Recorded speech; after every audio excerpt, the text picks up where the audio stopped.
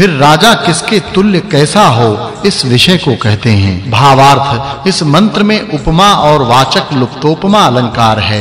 हे राजन, आप कब सूर्य के समान न्याय और विनय से प्रकाशित, सुंदर दृढ़ अंग युक्त श्रेष्ठ धर्मज्ञ विद्वान के समान वक्ता हो जैसे इस जगत में सर्वोपकार के लिए ईश्वर ने सूर्य बनाया है, वैसे ही सबके सुख के लिए राजा बनाया है। फिर प्रजा जनों के लिए क्या करें?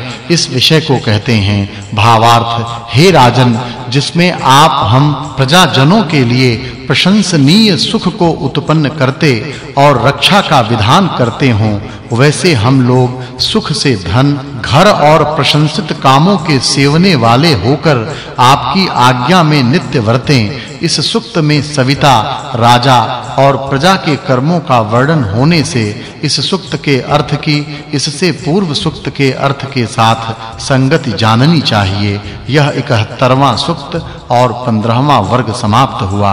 अब 72वें सुक्त का प्रारंभ है। उसके प्रथम मंत्र में अध्यापक और उपदेशक किसके तुल्य क्या करें, इस विषय को कहते हैं। भावार्थ, इस मंत्र में वाचक् लुप्तोपमा अलंकार है। हे प्रजाजनों, जैसे सूर्य को प्राप्त होकर चंद्र आदि लोक प्रकाशित होते हैं, वैसे ही अध्यापक और उपदेशकों का संग कर सब प्रकाशित आत्मा वाले हों। फिर वे किसके तुल्य क्या करते हैं? इस विषय को कहते हैं। भावार्थ, इस मंत्र में वाचक् लुप्तोपमा अलंकार है। हे अध्यापक और उपदेशकों, जैसे बिजली और पवन सूर्य आदि लोकों का निवास कराते हैं, वैसे ही प्रजा जनों को अच्छे उपदेश से सुखों में वसाओ। फिर वे किसके तुल्य कैसे वर्ताव करावें? इस विषय को कहते हैं। भावार्थ, इस मंत्र में वाचक् लुप्तोपमा अलंकार है। हे अध्यापक और उपदेशकों, जैसे वायु और बिजली मेघ को नष्ट भ्रष्ट कर जल को वर्षाते हैं, वैसे कुत्सित शिक्षा को विनष्ट कर अच्छी शिक्षा की वर्षा करो। फिर वे किसके तुल्य क्या करें, इस विषय को कहते हैं। भावार्थ, इस मंत्र में वाचक् लुप्तोपमा अलंकार है, जो बिजली और सोम के समान सब में दृढ़ ज्ञान स्थापन कर नदी के प्रवाह के तुल्य आगे चलाते हैं। वे संसार में कल्याण करने वाले होते हैं, फिर वे किसके तुल्य क्या करें, इस विषय को कहते हैं। भावार्थ, हे अध्यापक व उपदेशकों, आप लोग पवन और बिजली के समान सर्वत्र अनुकूलता से संग वाले होते हुए उत्तम संतानों को उत्पन्न कर मनुष्यों के हित करने वाले शरीर और आत्मा के बल को उत्पन्न करें। जिससे शत्रुओं की सेना को सह सकें। इस सुक्त में इंद्र सोम अध्यापक और उपदेशकों के काम का वर्णन होने से इस सुक्त के अर्थ की, इससे पूर्व सुक्त के अर्थ के साथ संगति जाननी चाहिए। यह 72वां सुक्त और 16वां वर्ग समाप्त हुआ।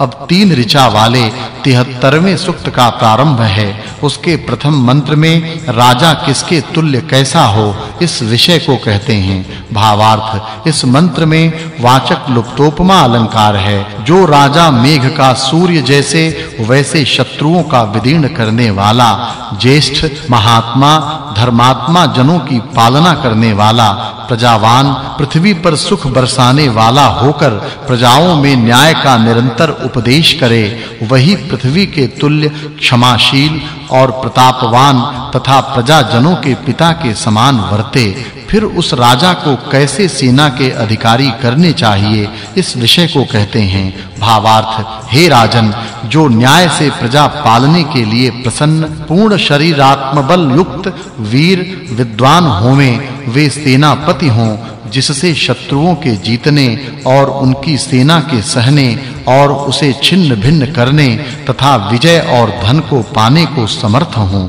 फिर वह कैसा हो, इस विषय को कहते हैं। भावार्थ, इस मंत्र में वाचक् लुप्तोपमा अलंकार है, जो राजा सूर्य के समान विद्या, विनय और अच्छे सहाय से प्रकाशमान प्रजाजनों की पालना करता और सबके लिए अभय दान देता हुआ दुष्ट कर्म करने वालों की निवृत्त करता है वहाँ। यहाँ राजाओं में महान राजा होता है। इस सुक्त में बृहस्पति के गुणों का वर्णन होने से, इस सुक्त के अर्थ की, इससे पूर्व सुक्त के अर्थ के साथ संगति जाननी चाहिए। यह 73वां सुक्त और 17वां वर्ग समाप्त हुआ। अब चार ऋचा वाले 74वें सुक्त का प्रारंभ है। उसके प्रथम मंत्र में, राजा और वैद्य कैसे श्रेष्ठ हों, इस विषय को कहते हैं। भावार्थ, इस मंत्र में वाचक् लुप्तोपमा अलंकार है। हे मनुष्यों जो राजा चंद्रमा के तुल्य और जो वैद्य प्राण के तुल्य सबको निर्भय और निरोग करें वे सब सुखों को प्राप्त होते हैं, जो प्रजा के घर-घर में और आरोग्य को बढ़ावे, वे द्विपग वाले, चार पग वालों से बहुत सुखों को प्राप्त होते हैं।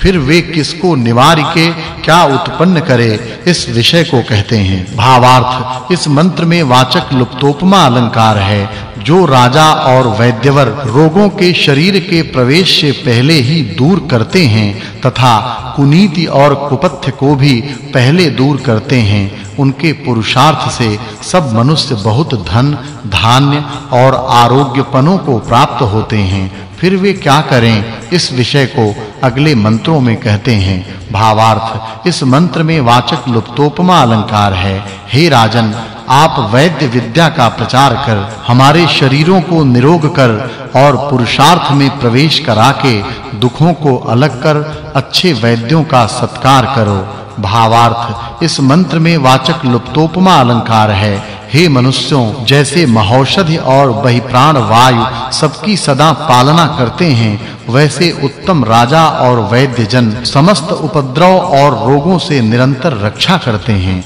इस सुक्त में औषधि और प्राण के समान वैद्य और राजा के कामों का वर्णन होने से इस सुक्त के अर्थ की, इससे पूर्व सुक्त के अर्थ के साथ संगति जाननी चाहिए। यह 74वां सुक्त और 18वां वर्ग समाप्त हुआ। अब 19 ऋचा वाले 75वें सुक्त का आरंभ है। उसके प्रथम मंत्र में शूरवीर किसे धारण कर, क्या-क्या करें, इस विषय को कहते हैं। भावार्थ, इस मंत्र में उपमा अलंकार है, जो मेघ के समान सुंदर कवचों को धारण कर युद्ध करते हैं, वे घाव से रहित शरीर वाले हुए वैरियों को जीत सकते हैं। जिस जिस प्रकार से शरीर में घाव करने वाले शस्त्र नोकदार न हों उन उन उपायों का वीर जन सदैव आश्रय करें।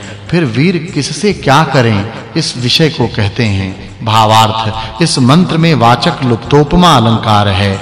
जो मनुष्य धनुर्वेद को पढ़ के पूरा शस्त्र और अस्त्र बनाने का अभ्यास कर प्रयोग को जानते हैं, वे ही सर्वत्र विजयी होते हैं। फिर ये किससे कौन क्रिया को करते हैं? इस विषय को कहते हैं, भावार्थ, इस मंत्र में उपमा अलंकार है। हे वीर पुरुषों, जैसे प्रिय मित्र, पति के साथ स्त्री प्यारी संबद्ध, अर्थात प्रेम की डोरी से बंधी हुई है, और जैसे विद्यार्थिनी कन्याओं के साथ पढ़ाने वाली विदुषी स्त्री बंधी हुई, दुख से और अविद्या से पार पहुंचाती है, वैसे ही यह धनुष की प्रत्यंचा, युद्ध से पार पहुंचाकर सदैव सुखी करती है। फिर वे वीर किनसे क्या करें? इस विषय को कहते हैं। भावार्थ, इस मंत्र में उपमा अलंकार है। हे वीर जनों जैसे समान प्रीति की सेवने वाली पत्नी पति को तथा माता पुत्र को निरंतर सुखी करती है, वैसे शस्त्र और अस्त्रों से शत्रुओं को निमारो फिर वीरों को क्या धारण करना चाहिए? इस विषय को कहते हैं, भावार्थ। इस मंत्र में वाचक् लुप्तोपमा अलंकार है। हे वीर पुरुषों, यदि धनुष को तुम धारण करो तो शत्रुओं को विदीर्ण करके पुत्रों के प्रति पिता जैसे, वैसे प्रजा पालना करके समस्त शत्रु सेनाओं को जीत सको। फिर वीर जन किसके तुल्य क्या करें? इस विषय को